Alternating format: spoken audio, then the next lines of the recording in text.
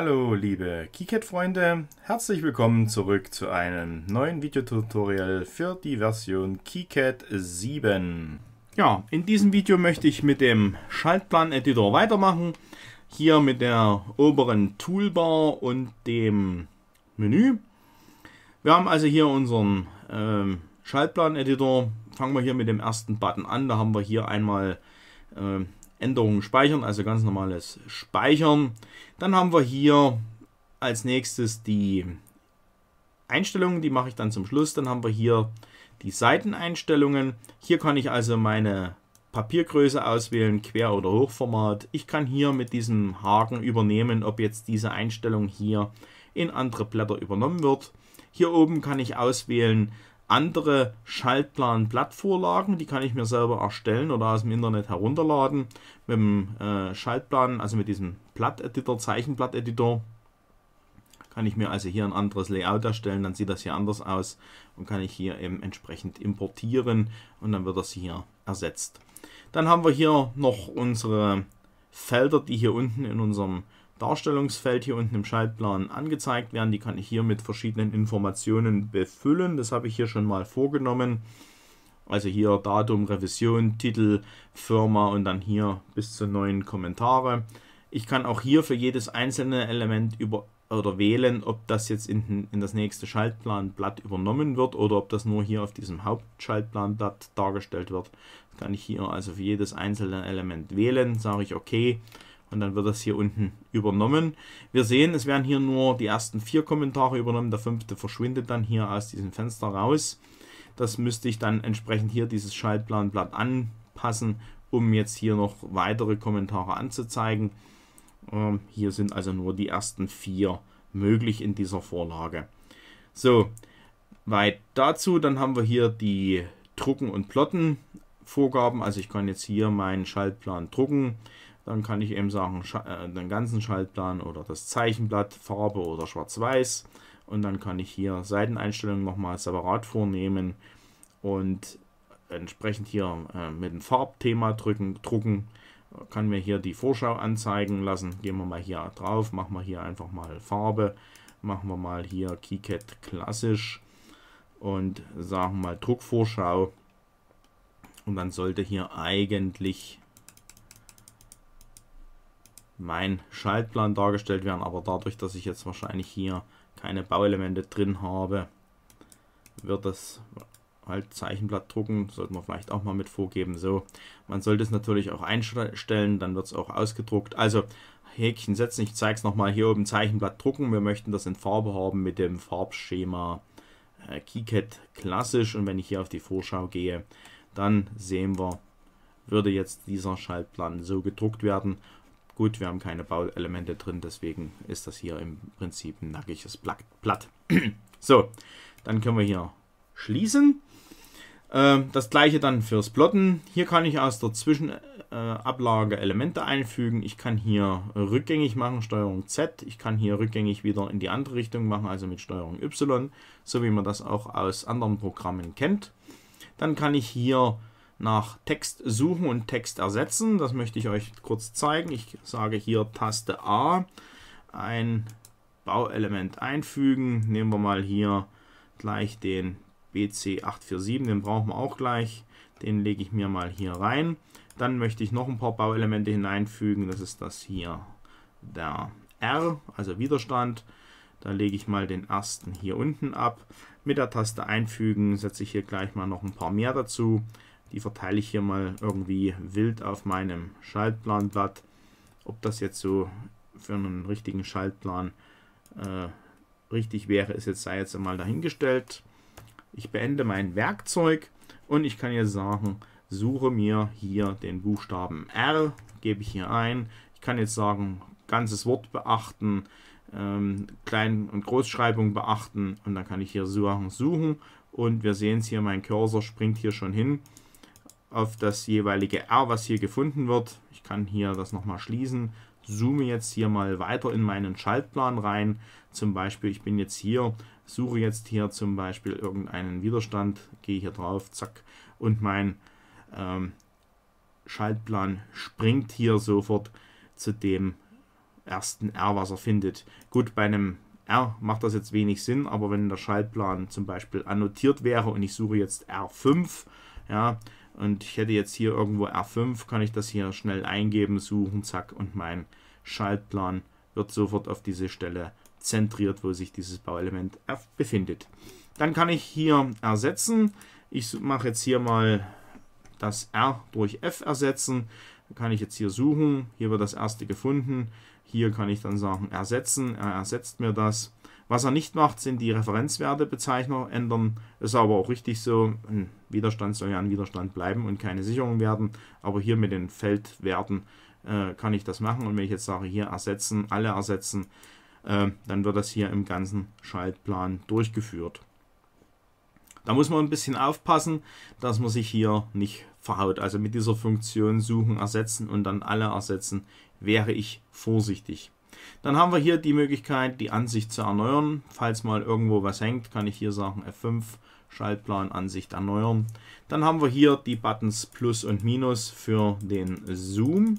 Hier kann ich also rein und raus zoomen in meinen Schaltplan. Geht natürlich viel schneller mit dem Scrollrad, auch klar. Dann haben wir hier die Taste Home oder Position 1, was ich bereits erwähnt habe. Das haben wir hier nochmal in diesen Button abgelegt. Wenn ich hier draufklicke, wird mein Schaltplan hier mit dem Blatt so reingezoomt, dass das ganze Blatt dargestellt wird. Dann haben wir hier die Möglichkeit auf Objekte zoomen. Auf Objekte zoomen heißt, hier wird jetzt der Schaltplan so weit reingezoomt, dass gerade so alle Objekte drauf sind. Zeige ich euch. Ich gehe jetzt also hier mal drauf und wir sehen, jetzt wird so weit hineingezoomt in den Schaltplan, dass gerade so alle Objekte, die in diesem Schaltplan vorhanden sind, auf meiner Ansicht dargestellt werden. Wenn jetzt hier unten nur diese vier wären, würde er also weiter reinzoomen und nur diese vier darstellen. Jetzt habe ich die natürlich hier grob über den ganzen Schaltplan verteilt. Entsprechend wird natürlich nicht mehr so weit in den Schaltplan reingezoomt. Dann haben wir die Möglichkeit, noch hier mit einem Auswahlzoom zu arbeiten. Das ist dann Steuerung F5 oder eben dieser Button. Und da kann ich jetzt sagen, ich möchte jetzt nur hier linke Maustaste klicken, ziehe hier so ein Auswahlfenster über diese vier, äh, drei ähm, Widerstände drüber und sobald ich hier loslasse, zoomt KiCad sofort so weit rein, dass eben genau diese drei Widerstände dargestellt werden, genauso wie ich das Zoom-Fenster aufgezogen hatte. Gehen wir wieder zurück. Dann haben wir hier die Navigation durch den hierarchischen Schaltplan. Den kann ich euch jetzt noch nicht zeigen. Das machen wir dann beim hierarchischen Schaltplan. Diese Buttons sind jetzt also für den Einsteiger erstmal relativ uninteressant. Ich beende mal mein Zoom-Werkzeug. Zoom hier mal händisch wieder rein. Dann haben wir hier die Möglichkeit mit dem Auswahlwerkzeug ein Element zu markieren. Da haben wir hier die Buttons links und rechts drehen. Auch das hatte ich hier schon mal gezeigt oder gesagt. Mit der Taste R geht das hier auch. Zumindest gegen den Uhrzeigersinn zu drehen. Ich kann aber auch hier äh, mit dem Uhrzeigersinn mein Element drehen. Dann sehen wir hier auch bei dieser Stelle gleich mal erwähnt, äh, dass diese Darstellung ja hier jetzt recht schlecht lesbar ist. Ich kann also dieses Element hier einzeln anwählen und sagen hier mit Move bewegen. Da sehe ich, dass ich hier so eine blaue Linie dran habe. Damit weiß ich also, dass dieses, dieser Referenzbezeichner hier zu diesem Element, zu diesem Symbol gehört. Das kann ich jetzt separat drehen, ablegen, kann hier den Feldwert anklicken, den bewegen, drehen und zum Beispiel hier unten drunter ablegen. Legen. Das ist natürlich ziemlich umständlich. Es geht auch einfacher. Ich kann das Element wählen, drücke die Taste O und mit der Taste O wird hier versucht von KiCad automatisch diese Darstellung sauber so zu positionieren, dass sie eben lesbar ist. Auch hier kann ich mal drauf gehen, Taste O drücken und schon schwupp wird das so platziert, wie es eigentlich oder für KiCad meint ordentlich darstellbar ist. Kann natürlich immer noch dazu führen, dass ich mal nacharbeiten muss. In den meisten Fällen funktioniert es. Dann habe ich nicht umsonst hier diesen äh, Transistor importiert. Das sind die nächsten zwei Button. Ich kann jetzt also diesen Transistor, wir beachten mal, ich kann den nicht nur drehen, sondern ich kann den spiegeln. Das heißt, der Pin 1 bleibt auf dieser linken Seite hier.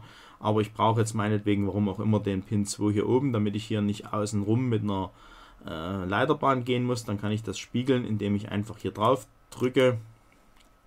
Sollte natürlich vorher das Element wählen, es muss ausgewählt sein. Und jetzt kann ich hier Sachen draufgehen ähm, und dann wird das hier gespiegelt. Das geht auch mit der Taste, das war jetzt die Taste X, das war die vertikale Spiegelung, es geht auch mit der Taste Y, dann wird also hier an dieser X-Achse gespiegelt. Der nächste Button ist dann die Y-Achse und da kann ich also hier an der Y-Achse entsprechend mit der Taste X mein Element hin und her spiegeln. Dann haben wir hier einen Button, Schaltplan-Symbole erstellen und äh, löschen. Damit würde ich jetzt den Symbol-Editor starten. Mache ich jetzt nicht. Das machen wir dann in eigenen Videos, wenn wir uns ein eigenes äh, Symbol erstellen. Dann kann ich jetzt hier mit diesem Button Symbolbibliotheken durchsuchen. Also ich brauch, kann das nicht nur mit der Taste A machen, sondern hier über diesen ausführlichen Dialog kann ich also deutlich effizienter äh, oder tiefer in meine Bibliotheken einsteigen und suchen ähm, und hier eben mir verschiedene Symbole versuchen darzustellen. Hier habe ich das etwas übersichtlicher. Ich kann also hier äh, meine Bibliothek anwählen. Hier links sind die Bibliotheken und hier in dem zweiten Feld sind dann die einzelnen Symbole, die in dieser Bibliothek hinterlegt sind. Wenn ich mal was nicht finde, ist das auch eine große Hilfe, da vielleicht unter Umständen mal in so einer Bibliothek etwas genauer zu suchen und kann dann hier mit einem Doppelklick das Ganze in meinen Schaltplan übernehmen. Dann haben wir hier als nächstes den Button Footprints erstellen. Also ich kann hier vom Schaltplan Editor auch hier sofort in diese in den Footprint Editor gelangen, muss da also hier nicht über diese Auswahl gehen, sondern kann das hier direkt über diesen Button machen. Dann haben wir als nächstes die Annotation. Ich kann also jetzt hier äh, meine Bauelemente oder ich muss ja meine Bauelemente annotieren. Also hier R1, 2, 3 und so weiter, Q1, 2, 3 etc. Und das kann ich hier über diesen Button erreichen. Hier kann ich verschiedene Auswahlmöglichkeiten vornehmen. Standardmäßig wird der gesamte Schaltplan annotiert. Er fängt hier von oben nach unten, von links nach rechts an. Dann haben wir hier die Möglichkeit, ob nur oder auszuwählen, ob nur das aktuelle Blatt annotiert werden soll. Das macht dann schon mal Sinn, wenn man große äh, äh, Schaltpläne hat, die über mehrere Blätter gehen. Und ich will jetzt hier nicht jedes Mal alles annotieren, sondern eben vielleicht nur dieses eine Blatt dann macht das durchaus mal Sinn, hier das zu wählen. Oder eben ich wähle mir eine Anzahl x Bauteile aus und sage dann, ich möchte nur diese Auswahl annotiert haben. Und hier eben untergeordnete Blätter mit einbeziehen oder eben nicht. Dann haben wir hier die Geschichte, möchte ich alte Annotationen beibehalten. Wenn ich also neue Bauelemente hinzufüge, wird die alte behalten und er fängt dann, zählt dann dort einfach weiter. Oder ich kann hier sagen, ich möchte hier alles komplett neu machen dann kann sich unter Umständen natürlich die Nummerierung meines Widerstandes oder meiner Bauelemente ändern, meiner Symbole in dem Fall.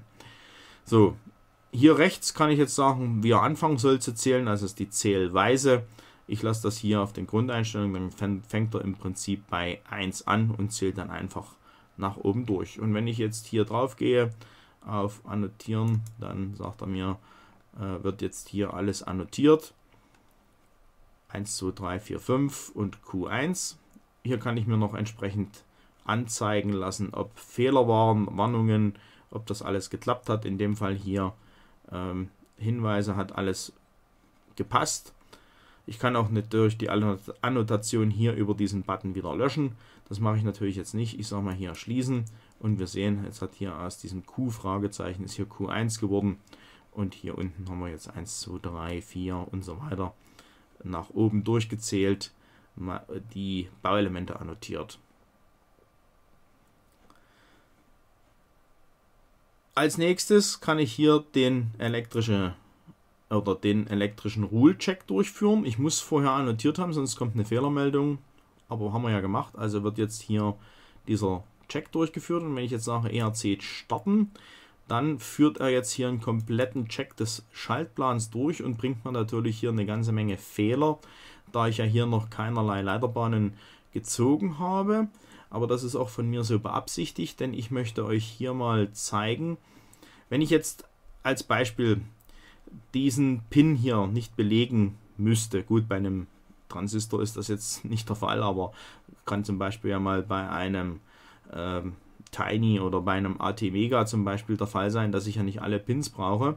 Dann würde ja hier trotzdem, weil ich den nicht angeschlossen habe, dieser Fehler entstehen. Und da kann ich, um diesen Fehler jetzt zu beseitigen, hier dieses sogenannte keine Verbindungssymbol hier drauflegen. Ich klicke das mal hier drauf. Wir sehen, jetzt ist das hier angeschlossen. Ich beende mal das Werkzeug. Der kleine Kreis hier den Pin hier oben ist weg. Damit ist angezeigt, dass dieser Pin angeschlossen ist. Und wenn ich jetzt den ERC nochmal laufen lasse, wir merken uns mal hier 18 Fehler, ähm, dann sehen wir hier sind es nur noch 17. Und wir sehen, dadurch, dass jetzt für KiCad dieser Pin hier abgeschlossen ist, hier kommt also jetzt nichts mehr dran, ist das für ihn korrekt und der Fehler verschwindet damit.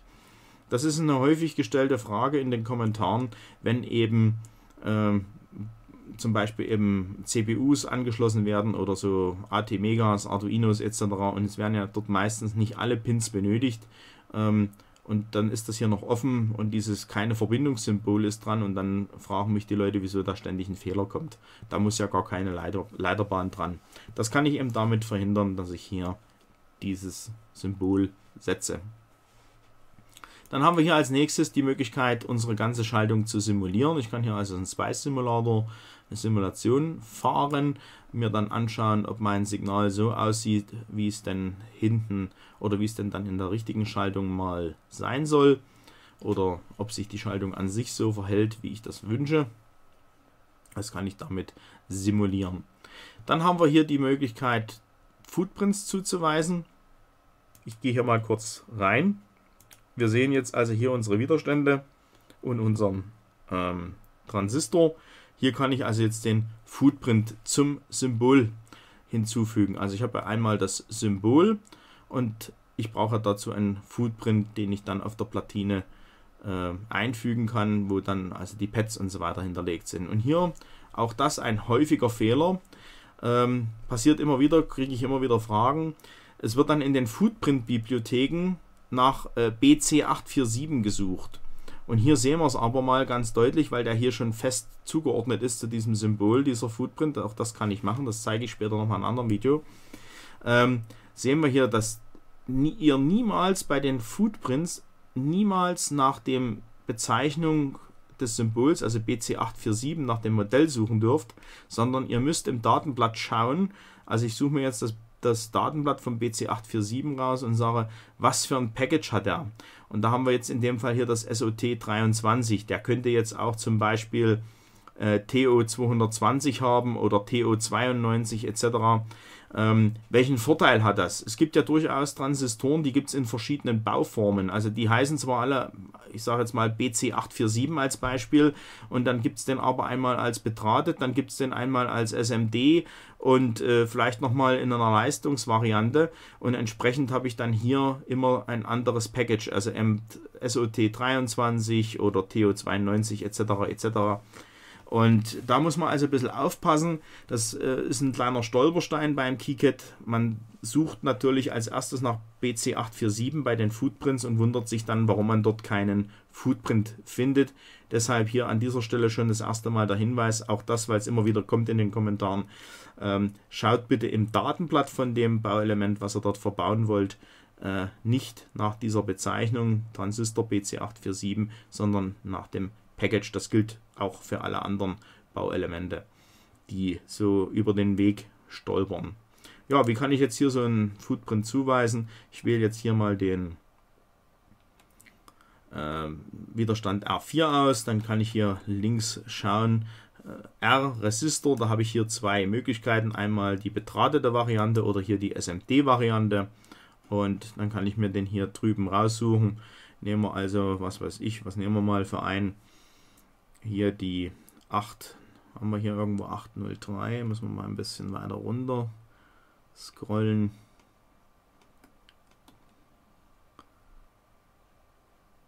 Ah, nehmen wir jetzt mal der hier, 805, hier haben wir es.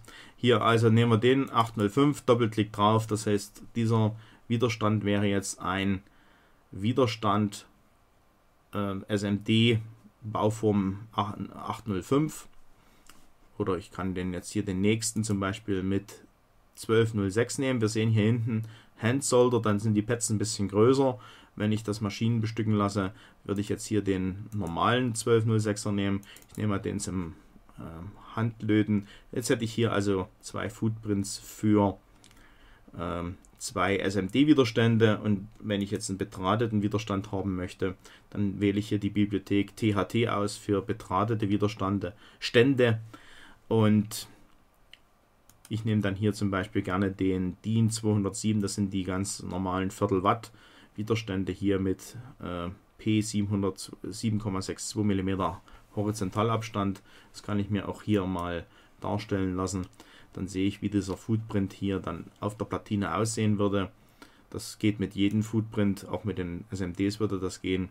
Und dann kann ich hier einen Doppelklick drauf machen und dann hätte ich jetzt also hier zweimal SMD einmal betratet und so kann ich das mit allen anderen auch machen. Okay, und dann ist das schon übernommen. Wer das nicht auf diese Art und Weise machen möchte, der kann auch hier über dieses Tabellentool gehen. Hier kann ich also sämtliche Werte, die hier in meinen in meinen Widerständen oder in meinen Bauelementen zu editieren sind, die kann ich also hier auch über diese Tabelle ändern. Zum Beispiel kann ich jetzt sagen, äh, ich habe ja jetzt hier noch die Widerstände R1 bis R3 und den R7 und jetzt möchte ich mal das Value ändern. Also ich möchte sagen, okay, das sind jetzt äh, 4K7 Widerstände, alle vier Stück und sage jetzt hier okay. Dann machen wir zum Beispiel, was weiß ich, nehmen wir den mal als 1K, den nehmen wir als 10K und hier nochmal als 100K. Dann kann ich hier sagen, okay, und schon habe ich hier meine Widerstände sofort schnell in dieser Tabelle mit Werten versehen und muss jetzt hier nicht jeden einzelnen Widerstand anwählen, die Taste V drücken oder übers Kontextmenü über Eigenschaften gehen. Könnte ich jetzt hier auch machen, könnte ich jetzt hier aus dem 4K äh, den Wert ändern, wenn ich das möchte, aber das ist, macht natürlich eine Menge Arbeit, wenn ich jetzt hier im ganzen Schaltplan jetzt hier übers Kontextmenü Hauptfeld Wert bearbeiten und dann hier aus 1K, was weiß ich, 2K machen oder was auch immer. Ja, das ist natürlich recht umständlich, da bietet sich hier diese Tabellenübersicht an. Hier kann ich natürlich auch Footprints hinzuweisen, wenn ich weiß, welche ich da brauche. Und das geht dann hier auf diese Art und Weise recht schnell, gerade wenn ich dann viele äh, Footprints habe. Ich kann hier auch Felder hinzufügen, das kann unter Umständen auch mal interessant sein, da gehe ich dann später mal drauf ein, äh, wenn es um die Bestückung geht. Möchte ich jetzt hier nicht machen, das führt uns zu weit. Soweit, so gut. Dann haben wir hier hinten noch den Button, eine Bauteilliste zu erstellen. Also wenn ich Bauteile bestellen muss, kann ich mir hier diese Bauteilliste generieren lassen. Da steht dann drin so und so viel von welcher Sorte. Äh, und dann kann ich entsprechend bestellen. Zeige ich auch später nochmal. Hier komme ich dann, wenn ich meinen ERC-Check durchgeführt habe und mein Schaltplan fertig ist, kann ich dann also hier äh, die Platine öffnen. Ja, ich habe jetzt hier ein Plugin nicht installiert, deswegen meldet er mir das. Bei euch sollte das nicht der Fall sein. Und könnte mir jetzt hier die Bauteile importieren und hier entsprechend dann anfangen, meine Platine zu erstellen. Auch dazu kommen wir noch in diesem Tutorial. Als letztes haben wir hier noch eine Scripting-Konsole. Die ist für einen Einsteiger jetzt auch erstmal völlig uninteressant. KiCad ist in Python geschrieben und ich könnte jetzt hier über diese Python-Konsole Befehle äh, hinzufügen oder beziehungsweise ausführen lassen, so wie ich das auch bei jedem Betriebssystem über Command machen kann. Da muss ich aber wissen, was ich tue. Ähm, das ist jetzt hier für den Einsteiger eher uninteressant. Dann haben wir hier vorne noch die Grundeinstellungen für den Schaltplan. Ähm, ich hatte ja über dieses, im ersten Video hier über Einstellungen, haben wir ja die Gesamteinstellungen erreicht. Und hier habe ich nochmal separat jetzt die Einstellungen für meinen Schaltplan. Da haben wir hier die Formatierung, dann haben wir hier die Feldnamenvorlagen, die elektrischen Regeln hier bitte gerade die Einsteiger, die mit KiCad anfangen, bitte hier nichts verstellen. Diese Einstellungen sind genau richtig gewählt. Äh, selbst ich, der nun wirklich viele Platinen macht, ich habe hier noch in dem Sinne noch nie irgendwas geändert. Lasst das bitte so, wie es hier ist. Ähm, ihr kommt sonst unter Umständen in Teufelsküche, weil euch Fehler oder Warnungen nicht angezeigt werden. Ja? Also wenn ich jetzt sage, hier ein Pin nicht verbunden ist, ja hier wird er als Fehler dargestellt. Wenn ich das jetzt hier hinten auf Ignorieren setze, dann zeigt mir KiCad diesen Fehler nicht mehr an. Und das kann dann unter Umständen fatal enden. Äh, nämlich dann, wenn er die Platine produzieren lässt und feststellt, dass er da irgendwas vergessen hat. Also diese Einstellungen bitte so lassen und das gilt insbesondere für die Einsteiger unter euch. Hier haben wir nochmal die Pin-Konflikt-Matrix. Auch hier könnte ich jetzt theoretisch Einstellungen vornehmen, indem ich jetzt hier draufklicke. Wir sehen es, jetzt ändert sich das hier. Äh, auch das bitte so lassen, wie es ist. Habe ich noch nie was ändern müssen, ist genau die richtige Einstellung, finde ich hier von Kiget so, wie man es braucht. Deshalb äh, hier bitte einfach die Finger davon lassen. Besser, äh, als dass man dann äh, sich ärgert, weil dann was schief geht. Dann haben wir hier Netzklassen, auch das werde ich noch zeigen, was man hier mit Netzklassen anfangen kann. Wir haben Bus-Aliase und Textvariablen, auch da werde ich in den nächsten Videos noch drauf eingehen. Das sind die Einstellungen. Dann haben wir hier oben noch das Menü. Hier finden wir im Prinzip alles wieder, was wir hier in der unteren Toolleiste gefunden haben. Einzig und allein kommt hier noch hinzu das Hinzufügen von nicht KiCad-Schaltplänen. Ich kann also hier mal speichern und kann sagen, okay, hier unterstützte Formate. Ich kann also von Altitum, Altium, Catstar und Eagle Schaltpläne importieren in KiCad und kann die dann weiter bearbeiten. Ich kann hier weiterhin über diesen Button äh, Inhalt eines Schaltplanblatts hinzufügen. Das heißt, aus einem anderen KiCad-Schaltplan kann ich den Inhalt rüberziehen hier in dieses Blatt hinein und kann damit weiterarbeiten. Ich kann hier nochmal den Schaltplan einrichten, das habe ich gerade gezeigt. Ich kann jetzt hier diesen Schaltplan als Bild in die Zwischenablage exportieren. Ich kann mir eine Netzliste erstellen lassen und kann hier Symbole zur Bibliothek oder zur neuen, neuen Bibliothek zusammenfassen. Auch das werde ich mal bei gegebener Zeit äh, nochmal genauer zeigen. Dann haben wir hier äh, im Prinzip als einziges die Möglichkeit noch Symbole zu ändern beziehungsweise das Schalt, die Seriennummer des Schaltplanblatts zu bearbeiten. Hier wichtig das Symbole ändern. Hier kann ich also im Prinzip so wie beim Text suchen und ersetzen, kann ich hier nach Symbolen suchen und die durch ganz andere Symbole ersetzen lassen. Das zeige ich jetzt hier nicht, sonst führt das zu weit. Mache ich dann mal bei Gelegenheit. Wir haben jetzt hier die Ansicht. Hier kann ich sagen, was ich hier sehen möchte. Ähm, ob ich hier diese ERC-Fehler zum Beispiel sehen möchte oder die Warnungen, ob das angezeigt werden soll oder die Ausnahmen angezeigt werden soll. Verborgene Pins, verborgene Felder anzeigen. Äh, das kann ich hier also entweder mir anzeigen lassen oder eben nicht. Ich kann hier die Einheiten ändern, kann ich aber auch hier links. Dann haben wir hier das Hinzufügen. Das ist im Wesentlichen das, was wir hier in der rechten äh, Toolbar schon gesehen haben. Ich kann jetzt hier bei der Inspektion, kann ich mich im Schaltplan durch meine Fehler durcharbeiten, indem ich hier sage, vom, zum vorherigen Marker zum nächsten Marker oder diesen Marker überspringen und kann jetzt dann peu à peu hier durch meine äh, Fehler mich hindurcharbeiten. Das zeige ich dann aber auch, wenn es soweit ist, nochmal genauer. Ja, dann haben wir hier Symbole wiederherstellen. Das gibt es nochmal. Ich kann nochmal die Platine aus dem Schaltplan aktualisieren, äh, zum Platinen-Editor wechseln. Äh, das kann ich, das zeige ich dann auch später nochmal. Ähm, ich kann auch den Schaltplan aus der Platine aktualisieren. Da warne ich vor. Ähm, auch da zu gegebener Zeit nochmal Hinweise. Erstmal nur hier die, der Hinweis, dass es das gibt. Und hier nochmal das Einstellungsmenü, das kennen wir auch schon. Und hier hinten die Hilfe.